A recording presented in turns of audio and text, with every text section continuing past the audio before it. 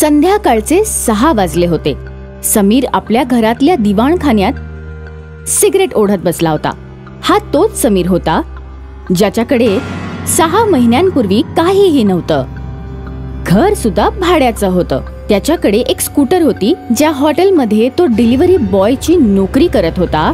त्याच हॉटेलच्या मॅनेजरने त्याला ती दिली होती. पण आज समीरकडे घर गाडी पैसा अडका आणि ते सगळं काही होतं ज्याची स्वप्न प्रत्येक सामान्य माणूस नेहमी पाहत असतो. तेव्हाच त्याचा मोबाईल वाजतो आणि समीरने त्याचा मोबाईल उचलला. हॅलो गौरव. हॅलो समीर कसा आहेस तू? मी अगदी मजेत आहे. तू सांग तू कसा आहेस?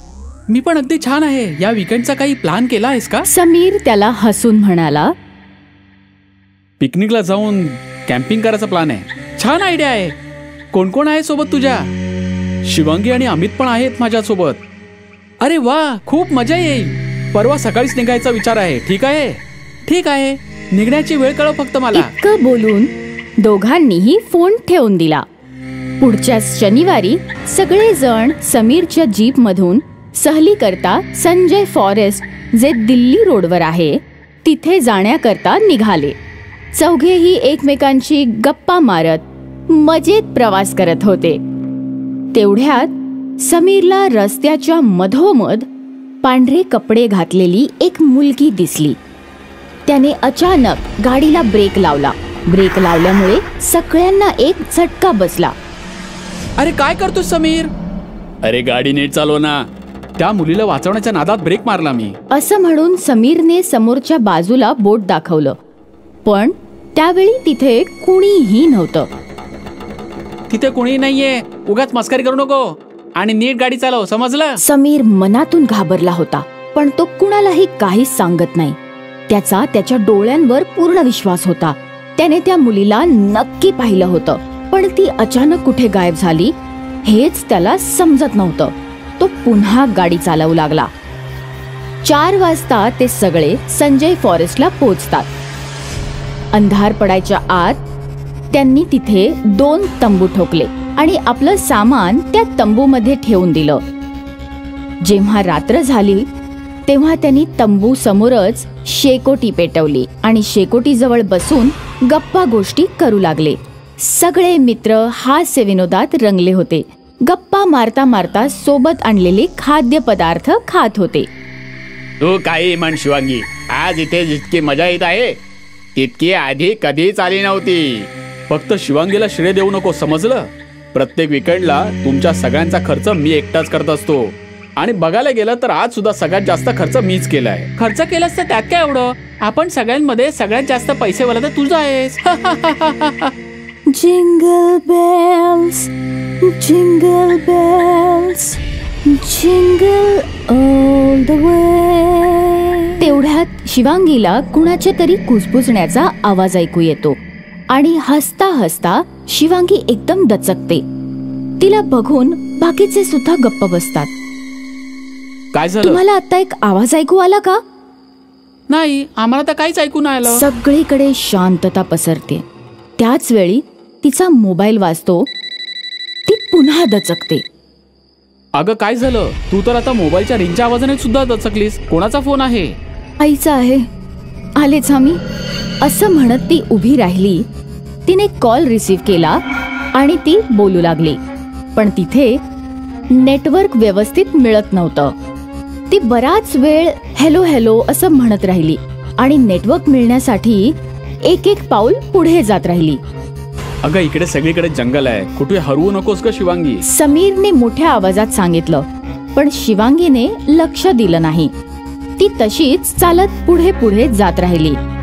जेव्हा तिच्या लक्षात आलं की व्यवस्थित नेटवर्क मिळत नाहीये तेव्हा ती आईला मेसेज पाठवते. Jingle bells jingle bells jingle all the way रात्रीच्या अंधाराला चिरत गेलेला एक आवाज शिवांगीला ऐकू येतो आणि शिवांगी दचकते. "हं? कोण आहे? शिवांगी मोठ्या आवाजात म्हणाली आणि इकडे तिकडे पाहू लागली.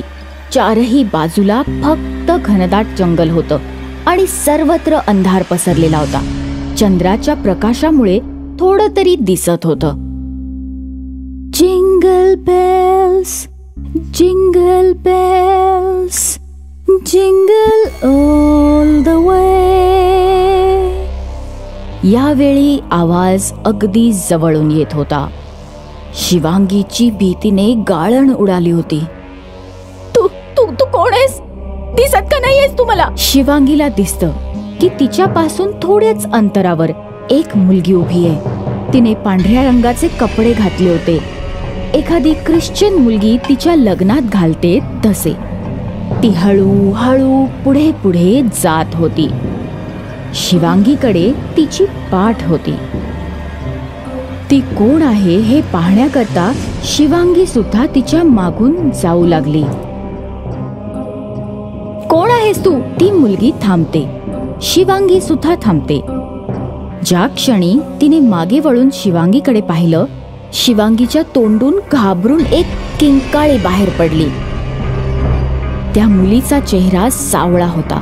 मोकळे सोडलेले केस वाऱ्यामुळे उडत होते आणि तिच्या डोळ्यातली बुबुळ गायब होती. तिचे पांढरे फटफटीत डोळे रात्रीच्या अंधारात उठून दिसत होते आणि तिच्या चेहऱ्यावरच्या भेसूर हास्यामुळे ती अतिशय भयानक दिसत होती. Merry Christmas Shivangi. रोजी तू तू तू तर मेली होतीस ना? माझ्या जवळ ये. असं म्हणून तिने शिवांगीच्या दिशेने हात पसरले. पण शिवांगी खूपच घाबरलेली होती. शिवांगीने तिथून पळून जाण्याचा प्रयत्न केला.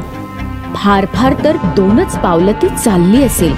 ती तितक्यातच विजेच्या चपळाईने ते भूत पुन्हा तिच्या समोर येऊन उभं राहिलं आणि शिवांगीचा गळा आवळू लागलं. शिवांगी खूप जोरात किंचाळली आणि बेशुद्ध पडली.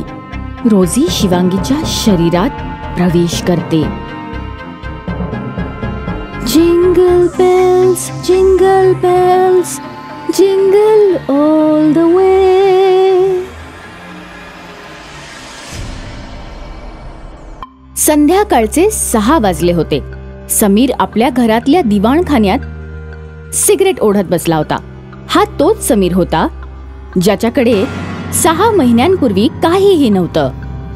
घर सुद्धा भाड्याचं होतं. त्याच्याकडे एक स्कूटर होती ज्या हॉटेलमध्ये तो डिलिव्हरी बॉयची नोकरी करत होता. त्याच हॉटेलच्या मॅनेजरने त्याला ती दिली होती. पण आज समीरकडे घर गाडी पैसा अडका आणि ते सगळं काही होतं ज्याची स्वप्न प्रत्येक सामान्य माणूस नेहमी पाहत असतो. तेव्हाच त्याचा मोबाईल वाजतो आणि समीरने त्याचा मोबाईल उचलला. हॅलो गौरव. हॅलो समीर. कसा आहेस तू? मी अगदी मजेत आहे. तू सांग तू कसा आहेस? मी पण अगदी छान आहे. या विकेंडचा काही प्लॅन केला आहेस का? समीर त्याला हसून म्हणाला पिकनिकला जाऊन कॅम्पिंग करायचा प्लॅन आहे. छान आयडिया आहे. कोण कोण आहे सोबत तुझ्या? शिवांगी आणि अमित पण आहेत माझ्यासोबत. अरे वा खूप मजा येईल. परवा सकाळीच निघायचा विचार आहे. ठीक आहे? ठीक आहे. निघण्याची वेळ कळव फक्त मला. इतकं बोलून दोघांनीही फोन ठेवून दिला. पुढच्या शनिवारी सगळेजण समीरच्या जीपमधून सहली करता संजय फॉरेस्ट जे दिल्ली रोडवर आहे तिथे जाण्याकरता निघाले. चौघेही एकमेकांची गप्पा मारत मजेत प्रवास करत होते.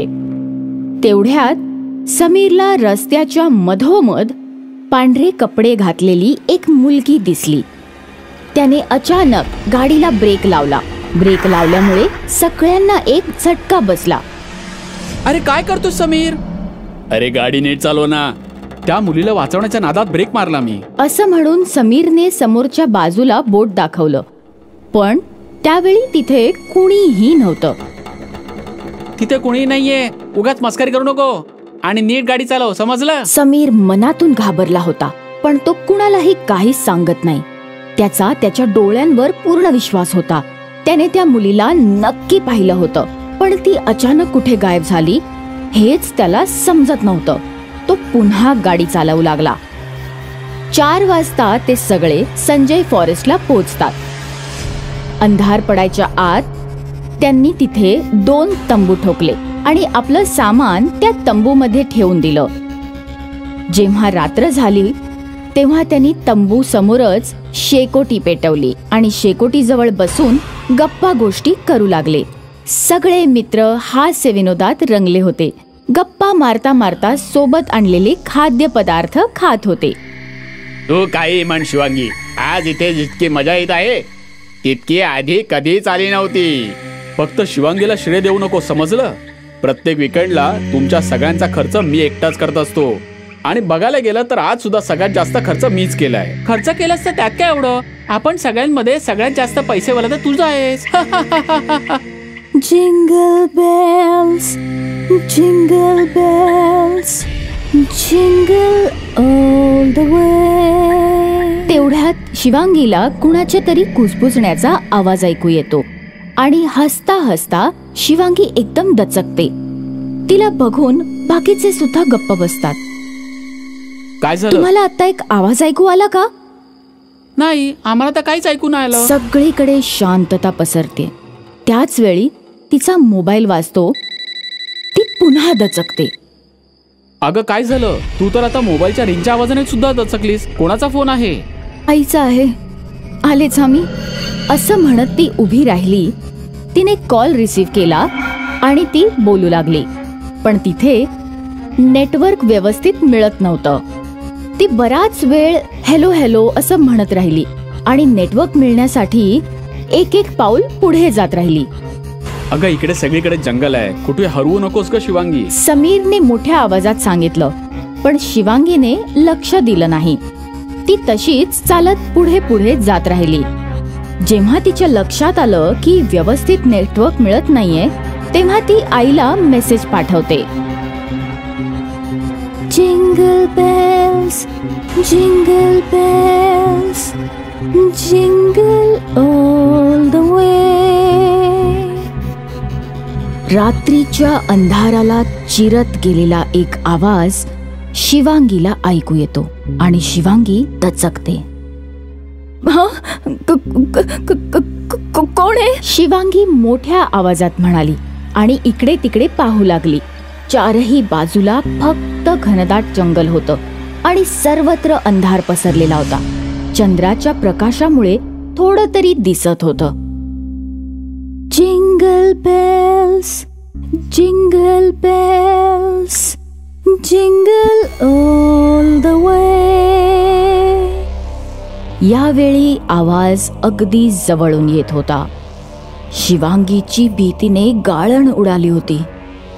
तू तू तू कोण आहेस? दिसत का नाहीयेस तू मला? शिवांगीला दिसत की तिच्यापासून थोड्याच अंतरावर एक मुलगी उभी आहे. तिने पांढऱ्या रंगाचे कपडे घातले होते. एखादी ख्रिश्चन मुलगी तिच्या लग्नात घालते तसे. ती हळू हळू पुढे पुढे जात होती. शिवांगीकडे तिची पाठ होती. ती कोण आहे हे पाहण्याकरता शिवांगी सुद्धा तिच्या मागून जाऊ लागली. कोण आहेस तू? ती मुलगी थांबते. शिवांगी सुद्धा थांबते. ज्या क्षणी तिने मागे वळून शिवांगीकडे पाहिलं शिवांगीच्या तोंडून घाबरून एक किंकाळी बाहेर पडली. त्या मुलीचा चेहरा सावळा होता. मोकळे सोडलेले केस वाऱ्यामुळे उडत होते आणि तिच्या डोळ्यात बुबुळ गायब होती. तिचे पांढरे फटफटीत डोळे रात्रीच्या अंधारात उठून दिसत होते आणि तिच्या चेहऱ्यावरच्या भेसूर हास्यामुळे ती अतिशय भयानक दिसत होती.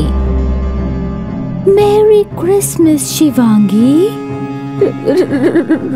रोजी तू तू तू तर मेली होतीस ना?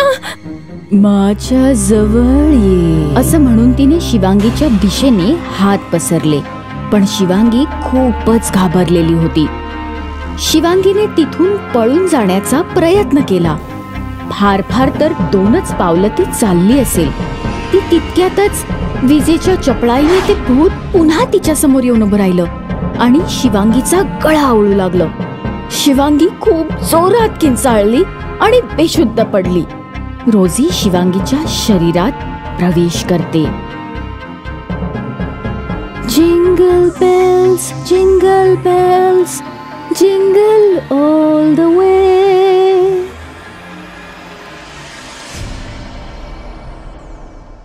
यावेळी मात्र गौरव आणि अमितला तिचा आवाज ऐकू येतो आणि दोघही दचकतात.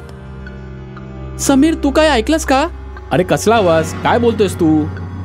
अरे एका मुलीचा आवाज होता तो. ती गाणं म्हणत होती. जिंगल बेल जिंगल बेल असं गाणं म्हणत होती.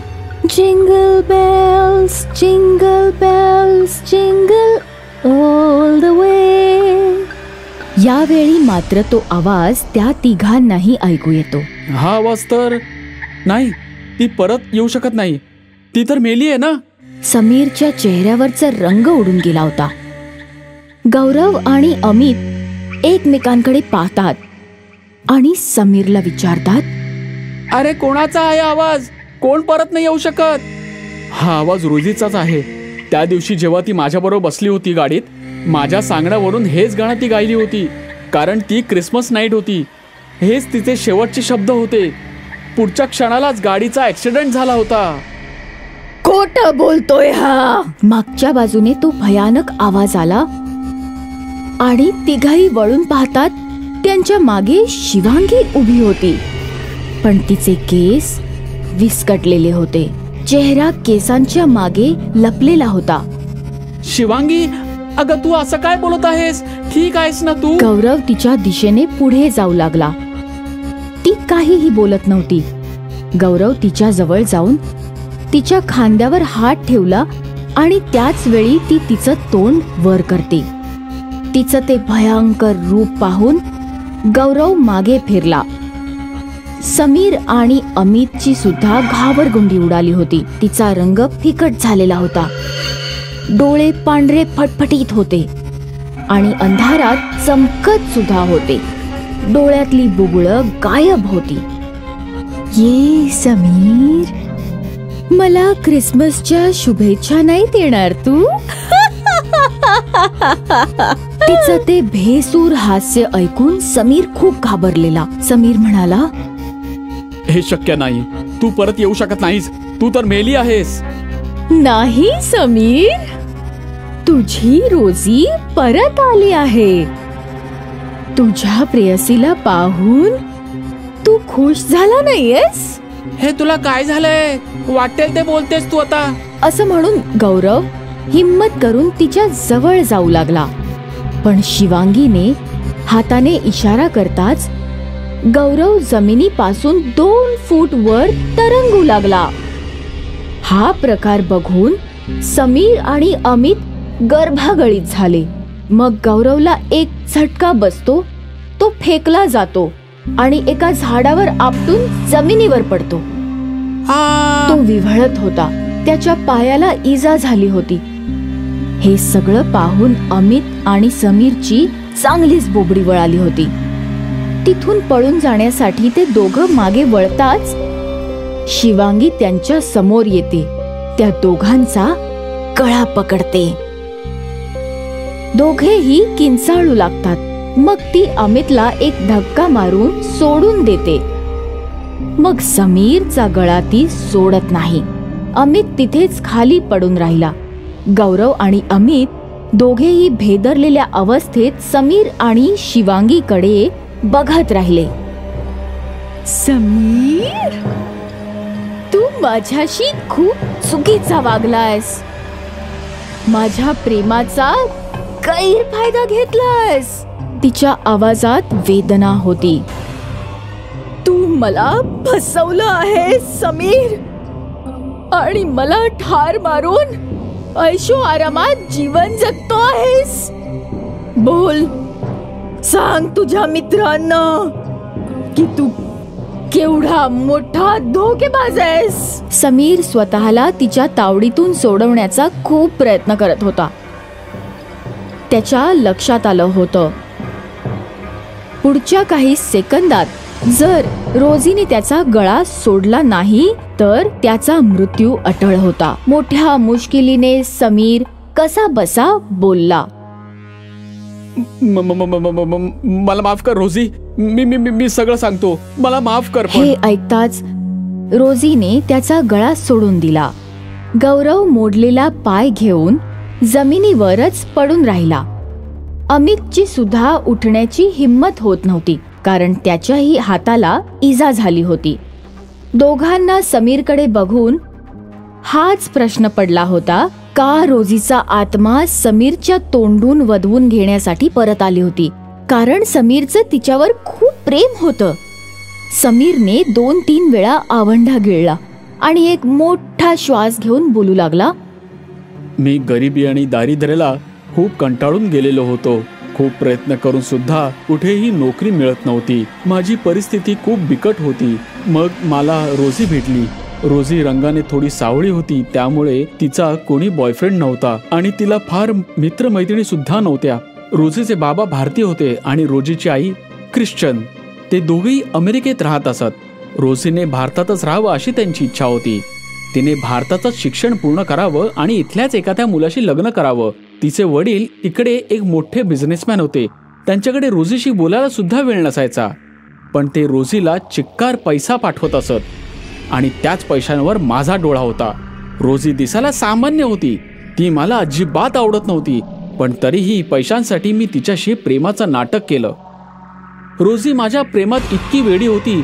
की तीन वर्षातच माझ्यासाठी तिने एक घर विकत घेतलं. ते सुद्धा माझ्यासाठी माझ्याच नावावर. इतकंच नाही तर तिने माझ्यासाठी एक कार सुद्धा घेतली. माझी सुद्धा हीच इच्छा होती की मला तिचे पैसे मिळावेत. पण मी वर वर मोठा प्रामाणिक असल्यासारखा भासवत राहिलो. एका रेस्टॉरंटमध्ये डिलिव्हरी बॉयचं काम करत असल्याचं नाटक करत होतो. रोजीने बँकेत तिचं आणि माझं एकत्रित खातं उघडलं. मला सुद्धा तेच हवं होतं. त्या अकाउंटमध्ये मी खूपच कमी पैसे भरत होतो. पण रोजी मात्र जास्तीत जास्त पैसे त्या अकाउंटमध्ये जमा करत असत. पण दोन वर्षातच तिने लाखो रुपये जमा केले होते. आता माझ्याजवळ गाडी बंगला पैसा अडका सगळं काही होतं. म्हणून मग आता मला रोजी सोबत प्रेमाचं नाटक करण्याची अजिबात गरज वाटली नाही. ती क्रिसमसची रात्र होती. माझा प्लान आधीच ठरला होता. मी गाडीचा ब्रेक फेल करून ठेवला होता. मी मुद्दामत रोजीला गाडी चालवायला सांगितलं. मी रोजीला म्हणालो की आज मी तुला क्रिसमस निमित्त एक सुंदर गिफ्ट देणार आहे. मी तुझ्यासाठी एक सुंदर ड्रेस घेतला आहे. तो ड्रेस तू आपल्या लग्नाच्या दिवशी घालावास अशी माझी इच्छा आहे. ख्रिश्चन वेडिंग गाऊन हे ऐकून रोजी खूप खुश झाली होती. मग मी तिला म्हणालो रोजी माझी इच्छा आहे की तू आत्ताच मला क्रिसमसच्या शुभेच्छा द्याव्यास. मेरी क्रिसमस असं म्हणून तिने मला शुभेच्छा दिल्या. मी म्हटलं असं नाही डोळे बंद कर आणि जिंगल बेल वाला सॉन्ग म्हणून दाखव. रोजीने म्हटलं की मी जर डोळे बंद केले तर गाडी कशी चालवू? मी म्हटलं मी स्टिअरिंग मी सांभाळतो. तू फक्त गाणं म्हण. रोजीने डोळे बंद केले आणि ती गाणं म्हणू लागली. मला समोरून ट्रक येताना दिसला. मी गाडीचा स्पीड आणखीन वाढवला. Jingle bell jingle bell jingle all the way.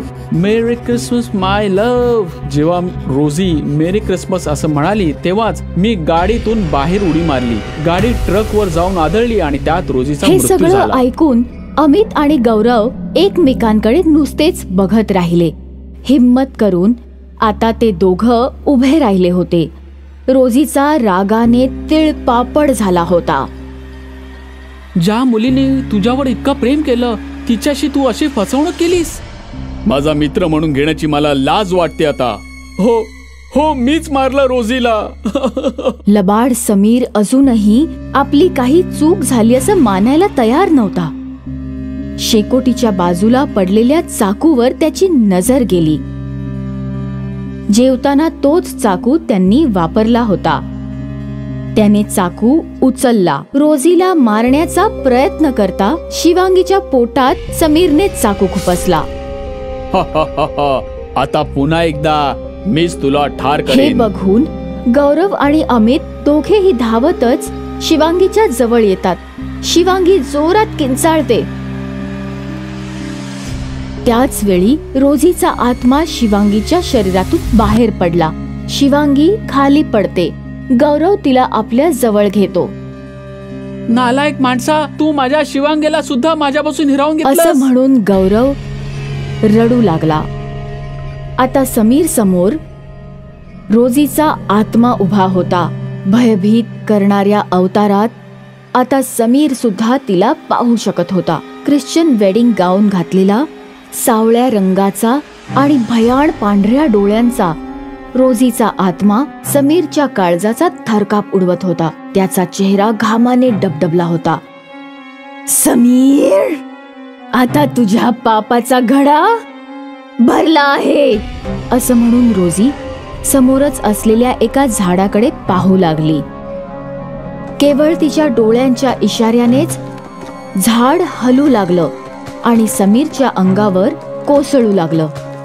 Sameer ओरडला स्वतःला वाचवण्याचा प्रयत्न करू लागला पण झाड खूप मोठं होतं. झाड समीरच्या अंगावर पडतं. झाडाची एक टोकदार फांदी समीरच्या पोटात आर पार घुसली. समीरच्या तोंडातून एक किंकाळी बाहेर पडली. त्याच्या तोंडातून आणि पोटातून रक्त वाहू लागतं आणि त्यातच त्याचा मृत्यू होतो. अमित आणि गौरव त्याच्याकडे पाहतात. रोजी अजूनही तिथेच उभी होती. समीरच्या मृत शरीराकडे टक लावून पाहत होती. जखम जास्त खोल नाहीये. पटकन हिला हॉस्पिटलमध्ये घेऊन जाऊया. गौरव म्हणाला. आणि दोघेही शिवांगीला जीपमध्ये ठेवून हॉस्पिटलच्या दिशेने निघतात. दोघेही शिवांगीला घेऊन तिथून निघून जातात. रोजीने पुन्हा एकदा समीरच्या मृतदेहाकडे पाहिलं. आणि तेच गीत पुन्हा एकदा गाऊन तिथून निघून गेली jingle bells jingle bells jingle all the way